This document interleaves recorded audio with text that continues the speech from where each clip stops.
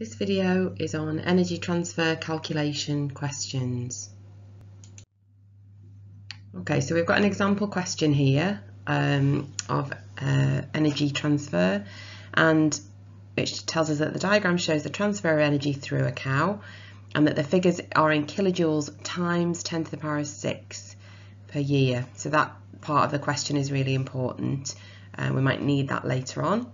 Um, so we've got here in various different numbers um, and we've got a key. So um, A, energy absorbed from the gut, C, energy consumed in food, F, energy lost in feces, P, energy used in production of new tissue, R, energy lost by respiration, and U, energy lost in urine.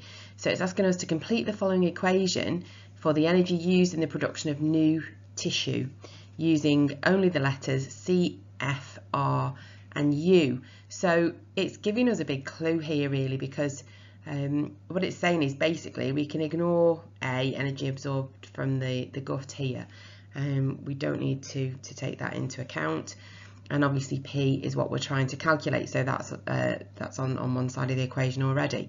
So what um, we want to have a look at is the relationship between these, um, these uh, numbers these figures. Okay, so if we have a think about it, the um, energy that is going to be used to produce new tissue is going to be equal to the amount of energy taken in, which is C, minus any losses through the usual routes. So we know that the losses are via respiration, urine and feces production.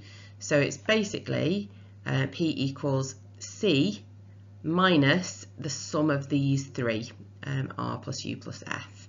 Um, or we could just put C minus R minus U minus F. Okay, so we could do either of those um, to get the answer here.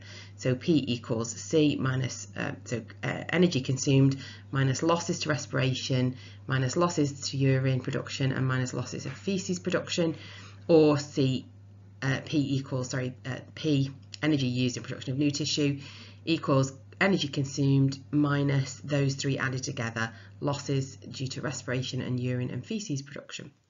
Okay, so either of those is absolutely fine. Then it asks us to calculate the value of P. So all we have to do here is insert the numbers that were given in the diagram into this equation that we have just um, that we've just written out.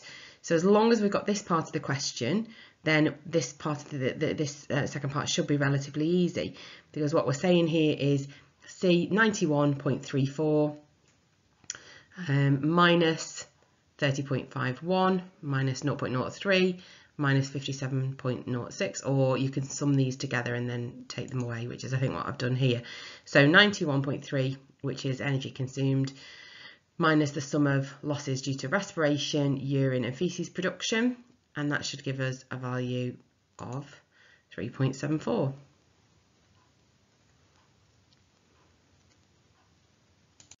Okay, this is the second part of the same question and I put the diagram in for reference. Um, it tells us that um, it's been estimated that an area of 8,100 metres square of grassland is needed to keep one cow and the productivity of grass is 21,135 kilojoules per metre square per year. So we can use those two numbers to work out the number of kilojoules needed to keep one cow um, would be the uh, 21,135 times 8,100 metres squared. So that's um, going to give us the bottom of our fraction. And then the top of our fraction is going to be uh, the energy used in production of new tissue because what we're working out here is what percentage of the energy in the grass is used in the production of new tissue in one cow.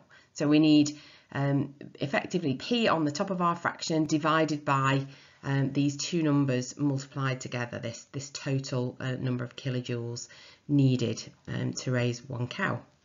So what's important here is if we have a think about our, our value for P, it's the number that we got in the previous um, uh, previous question. It's the answer we got to the previous question. Even if we got that wrong, but you show you're working here and you use your number, the number that you actually calculated, you can still get marks here. It's something called error carried forward.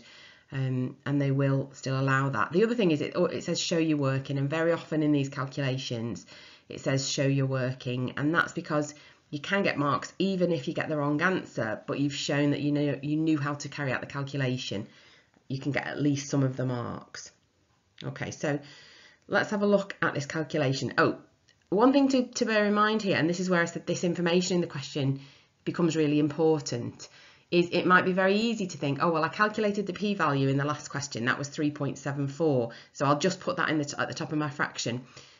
3.74 doesn't sound to me like it, it sort of matches up with these other numbers. These other numbers are a lot bigger. So what else is going on here?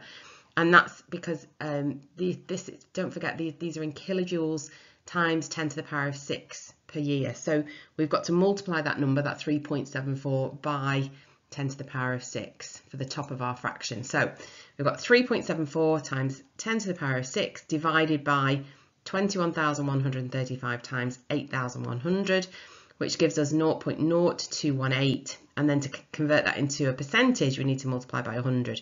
So the answer is 2.18. Um, this is just the correct answer. I've taken this straight from the mark scheme. So correct answer is 2.18. they will accept 2.19 or even 2.2 um, if you've rounded it to one decimal place.